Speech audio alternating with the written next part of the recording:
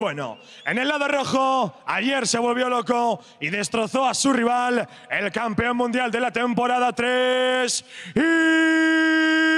Impact.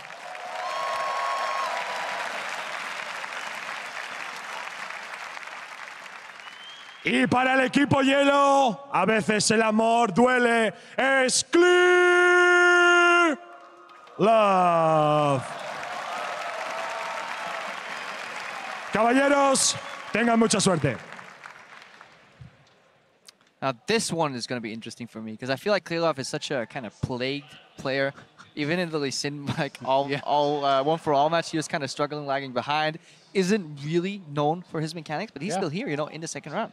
And he beat Bjergsen, right? Yep. Like, so this is Out of all people, yeah. yeah. it- It's it's something where these guys, even though there are differences, the differences are not big enough that if you make a mistake, the other person can't win, right? And Bjergsen did make that mistake. He capitalized on it, and, and going up against Impact on paper, that should be a lot easier than Bjergsen was. And it also kind of confirms there's this you know, hypothesis that 1v1 is all about mechanics. Mm-hmm. But a single decision made at the right time will outweigh any mechanics to outplay it. You know, that is Yeah. also why certain players seemingly uh, that are seemingly weak are just much ra- ranked, uh, much higherly ranked in solo queue, for example. Because if you know what to do, you can put your opponent in a position where no mechanics can get him out of that. Yeah, I actually think it, it's much more about intelligence within reason, right? If these two people, one person doesn't know how to click his buttons, obviously Yeah. mechanics are going to matter. But I mean, within this realm of possibility, it, it's much more about intelligence. Do you have the right build, the right strategy? Do you know when you will win the fight? And, and a lot of times these guys don't, right? They don't have the experience. They're just here having some fun. And other people are taking it super, super serious. You know, we know Rekkles has been grinding 1v1s. He wants to win this. Yeah, and luckily he has the training partner in Soas as well. Clearlove does a good thing here though, banning the Yasuo. That is a super annoying champion to play if like that goes into the nitty gritty of mechanics whenever you're playing with the Yasuo. Right now they're hovering. Guys, remember if you are just tuning in, there is a giant, massive screen next to these guys so they can just glance up, see what the opponent actually has selected and which runes and masteries he's running. They can also talk to each other in game. Yeah, and it, some of these players will agree to just play a mirror matchup, and they can be pretty fun. Varus versus Varus could, be kind of interesting. It could also probably just come down to CS. Can be boring. Yeah. They can't, they can't actually see runes and masteries. I'm wrong there, but they can, they can see uh, which summer spells rather that they're using. And Impact, to, to talk a little bit about uh, how he played yesterday, he actually played against Mouse, and he was actually able to tower dive Illusion as the Olaf, take him out with last possible swing before he died to, to it, and oh boy. That'd be oh. interesting. Urgot! I love Urgot, dude. I am so happy whenever an Urgot gets into the game. Takes me back to like the good old days. Champion is so fun to watch. However, I think you, we may have a similar conversation here about mana. Yeah. ran out of mana. Ziggs is so mana efficient when it comes to pushing. That's the thing is, it's like, great, you hit your E, you better get all those Qs off, or you're not going to do much. And, and Ziggs could just drop his satchel, watch away. That's so easy for him. You can jump yourself away, you can knock him away. And honestly, the biggest problem here for Urgot is range. Like, Ziggs never has to get in range of you. So Ziggs can go for CS wins, he can poke you out, try to force you into bad trades, bad positions. There is still that ghost uh, on the side of Clearlove. I don't know if he changed it. We'll have to check once we get into game because I, I feel like ghost Yeah. on Ziggs is a bit of a lost summoner.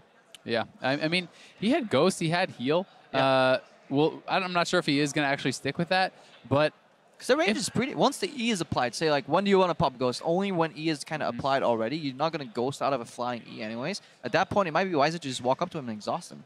Yeah, I think honestly, if, if he is going with those summoners, he's 100% just going for a CS win. Yeah. Like he's basically just saying, "I'm going to run away when you run towards me. I have heal to survive any all in, uh, and it is going to be exhaust barrier." So super much defensive masteries makes more sense than than that heal, I do think, and, and the ghost. Uh, but still, I think it's the same principles that are going to apply here. I do think we're going to see Clearlove trying to stay back. And we were researching Clearlove's runes earlier already, and we looked at the pages like, what the hell is this going to be? It's ability power galore, 26 in total, flat armor, but then attack speed out of nowhere on like a mage. It actually shows you that he's like, he was ready for Ziggs. This is the champion that he wanted to play. This isn't no reactionary pick here. Now look at his match history as well. No Ziggs game either, so he was hiding this pick very, very well. Uh, showing some Rengar and some Eve in his like match histories. And But he may have, I think he's, I think he doesn't have masteries. oh no, I think he legit forgot to build masteries. He has zero pages active. oh boy, yeah. Oh, that, Clearlove. that is unlucky.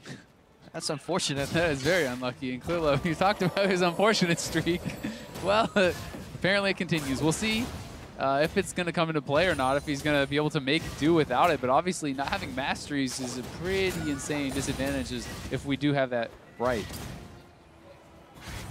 All right, let's see what he does then. Uphill battle if Yeah. it's true. Yeah, I mean, I think going for CS win then uh, becomes kind of more the only option, but it becomes much more difficult. You don't have a mono regen mastery. You don't have really much. You don't have anything. No, no, Yeah. no, no Thunderlord's. There's no mana region. There's no Greenfather's Gift, which is super strong on Ziggs, especially especially on this map, right? Yeah. Where you can non-stop just be jumping in and out. And it's the only master on that tier that's really going to do much for you. So Impact actually uh, had a quick glance at his runes. He's running mana Regen on, on his blues, uh, on six blues, 2.0 mana regen total. It's a page that some supports tend to use. He'll need it because, as you'll see right here, that trading pattern is going to be costing him quite some mana later on. yeah, I think that's actually really smart. And, and on these champions that have relatively low cost abilities like the Q and stuff, uh, even just a couple of those mana regen blues can make an insane amount of difference. All right, we just got confirmed he has Thunderlord's. Okay. It was just a glitch in the system. Yep. Refresh the page. Thank God. He Okay. actually is running a page. This is really good. Still, I, I'm a little bit interested to see that he is actually going to be going for Merciless instead of uh, the mana regen challenge. So he has four points in Merciless there. And look at that trade. But I- just don't see you really winning the fight by killing the Urgot. So to me, you'd rather have the mana regen. You'd rather stay back, be able to have the additional wave clear. Uh, but there is an argument for both sides. I mean, you need to keep some threat uh, at least. You know, if at one point you can never fight back, if this guy overextends to the minion wave, you need to be able to punish him. Uh, he I mean, probably has good rally control anyways, and may just build more doors. Yeah, so we will see if, if the mana does come into play, but still, obviously, there's arguments on both sides. I just think 4% extra damage under 40% HP is not worth being able to spam out a couple extra spells, right? You know, if you hit one extra spell, one extra satchel, uh, that can be more than the difference there. Yeah, definitely if it's kind of a death on a thousand cuts. Really good connection here by Oh, Impact the Ignite. too. Good barrier. Nicely timed, just not enough. That should be final tick. Yeah, Clearlove lives. But he loses the zone and the base timing, and he's already behind in CS. If Impact had enough confidence, he actually maybe could have got that last auto in there, but it's really risky because the turret was there. He would have had to wait for the Ignite burn. I think if he could play this again to Impact, he would have exhausted, so he Yep. could stay close enough to get that final auto. But remember, there is still that barrier Oh, that wow, could have soaked more damage. I think the tier is a little bit silly. I mean, yes, it does have that mana regen, but I'd rather honestly see build something else, like even like a Forbidden Idol or something random like that. Just get a bit more mana regen that way, because this feels like this is something that is not going to be as useful right now. Uh, I'd rather see an extra Dorans, things like that. It just Uh, gives you, it gives you good mana stats though. Like Yeah. it allows you to do so much.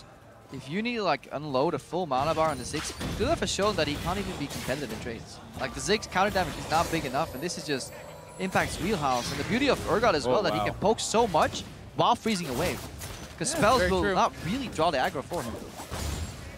See how it does work out. If he did just have 700 gold, I mean, there's not really a, a great uh, buy that he could grab there, unless you want to go Doran's Longsword, Doran's Boots, something like that. Because uh, Boots can be pretty effective if you can get in range for the E. Uh, can be pretty big, and, and he's able to just keep landing. Yeah, he's gonna go here with the slow Oh, from Kulov's W. in trouble. Philip has to run. He should exhaust him. Oh, okay. So that's really important on Urgot. When you connect, you really want to get that slow uh, applied from when you pop that W. Keep Clearlove in range. You are walking headfirst into Ziggs spells though. It's very easy for Clearlove to answer. And on level 6, there is more damage that comes out of Clearlove than Impact generates. He needs to kind of swap for the resistances as he sees the bomb coming. I think that's the correct play to do. Yeah, I mean the thing is, with with that ultimate, it's flat damage reduction now. You know, it's a percentage damage reduction. That on top of uh, the exhaust is going to nullify so much of the Mm-hmm. damage. And uh, we have seen, uh, it seems like, oh, this would never happen, but you could swap them into the turret. We've seen things like Yep. uh, in the Smeb game, right, where we saw a pull Mhm. onto the turret, end a game. The same thing can happen here if Clearlove kind of slips up even for a little bit, or even if you can swap him into a cannon wave of yours, for example, and make him fight you there. Uh, the cannon retaliating could be the difference in a fight. Yeah, definitely very important. But at this point, doesn't look like we're getting any fighting. Impact really just parking the wave in the middle of the map with a soft freeze. This will eventually push out, but it'll take a long time. And every time he gets close, Oh, here he goes. locked He got six first. That's an exhaust. Good satchel blocked out. Impact still whacking away here. Good Q connect. That should be it. He needs one more Q. Oh! He got the barrier out though, thankfully enough. So Love. Oh, Oh, no! He walked back in! Oh! The E dot takes him out as Impact wins again. And that was scary because if the poison didn't burn him down there, he might have been too close to the turret. Yeah, he might have just kept on walking. Just Just run it down mid. run, uh, Impact, run. Yeah. But Impact comes up big again and with a non-traditional pick wins on the Urk.